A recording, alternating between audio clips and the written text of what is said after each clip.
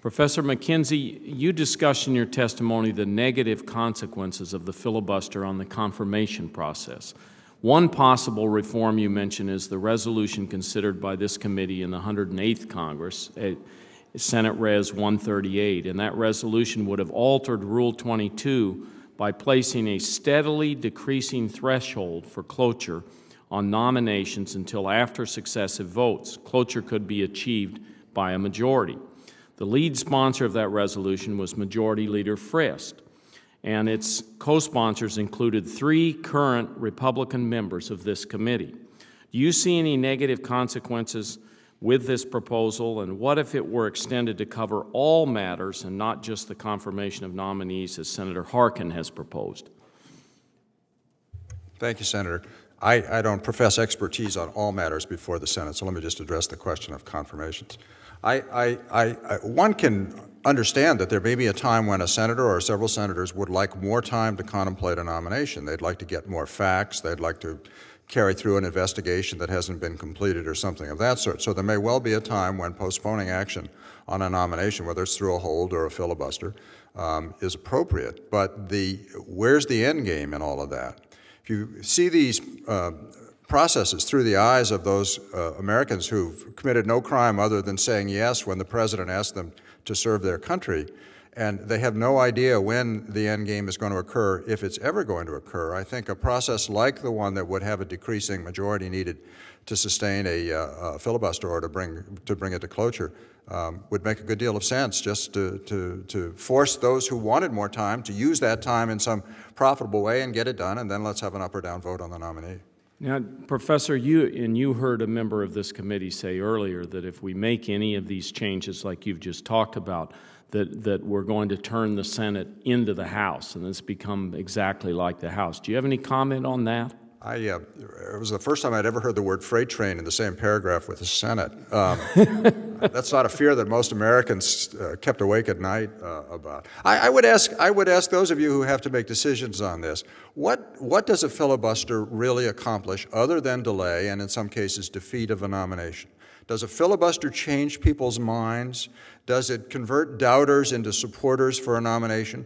Uh, is there actual a debate that occurs on a filibuster that people listen to and are open-minded about?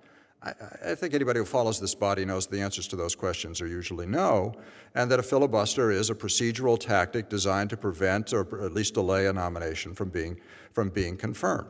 Um, that uh, is problematic for new administrations, it's problematic for old administrations, and it's certainly problematic for the people whose nominations are under consideration. Thank you. Tom Mann, would you also respond to this idea that, that if we uh, change the rules, respecting minority rights, that somehow we're turning the Senate into the House? I do not. The, uh, the filibuster, the routine filibuster, was never uh, anticipated by the framers uh, when they purposely set out to design two very different institutions the, the length of term, the method of appointment, uh, uh, the size uh, of constituency. They, they expected the Senate to, to be the saucer, uh, to cool the uh, the hot tea or coffee of, uh, of the house, even without this. So I think there are other safeguards built into the system. Having said that, you can go a long way in adjusting the rules of the Senate without completely eliminating uh, the possibility of a of a determined minority to, uh, uh, to stop some action in, in the Senate. Uh, it does not uh, you can do many things short of a blanket major ultimate majority cloture vote. Although I'm not arguing against that or for it, I'm saying there are many things you can do.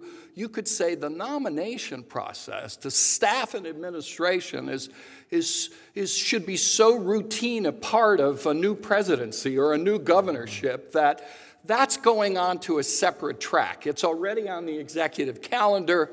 Uh, you could set up rules that have a time limit associated with it, and you wouldn't have to go through the trouble of filing cloture motions. Uh, it seems to me there are various ways of, of making adjustments in the rules to confront the new reality that they are producing in this new world of polarized politics and self indulgence of individual uh, senators, a very destructive pattern of uh, behavior.